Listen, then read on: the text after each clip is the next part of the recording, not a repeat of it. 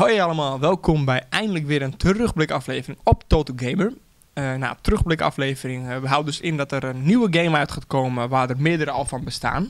En wij gaan terugkijken op die, ja, de vorige versies van die game. En uh, welke game gaan we deze week doen?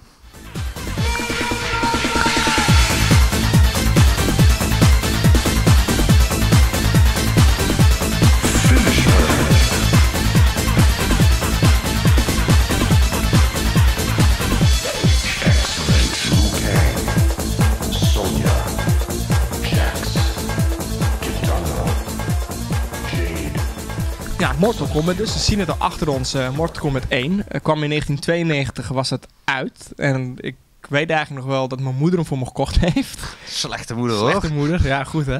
Nee, dat was echt zo van, ik, ik, ik wist nog niet eens eigenlijk wat voor game het e-, nou echt was. Ik weet dat ik had het van gehoord, van vrienden en zo, en arcadehal.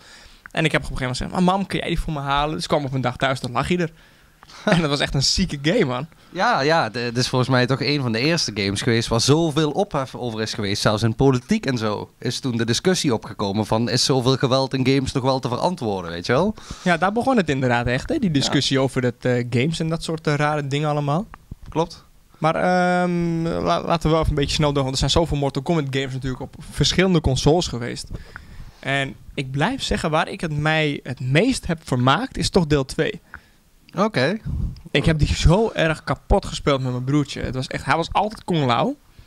Why, I don't know. Maar ik was, ja, aan de andere kant, ik ben altijd Scorpion. Ja, Scorpion is ook gewoon... Scorpion is gewoon de shit. Ja, ik wou het zeggen hoor. Fuck it. Fuck, echt fuck it, hè. Ja. Maar uh, wat, Mortal Kombat, wat, wat doet het voor jou? Nu Ja, er, dus- er komt nu een nieuwe uit. Een negende, negende deel, even tussen haakjes zeg ik maar even. Want het is helemaal niet het negende spel van Mortal Kombat. Nee, nee, er zijn zoveel spin-offs eh, de afgelopen jaren geweest. Maar inderdaad, weer, wel weer de, eindelijk de eerste fatsoenlijke 2D fighting titel Ja. van Mortal Kombat. Gewoon Ja. terug naar de basic, weet je wel. dat is inderdaad wat nog het meest opvalt. Het is gewoon wel... Ja, weet je, gewoon graphics van nu, maar in HD-stijl.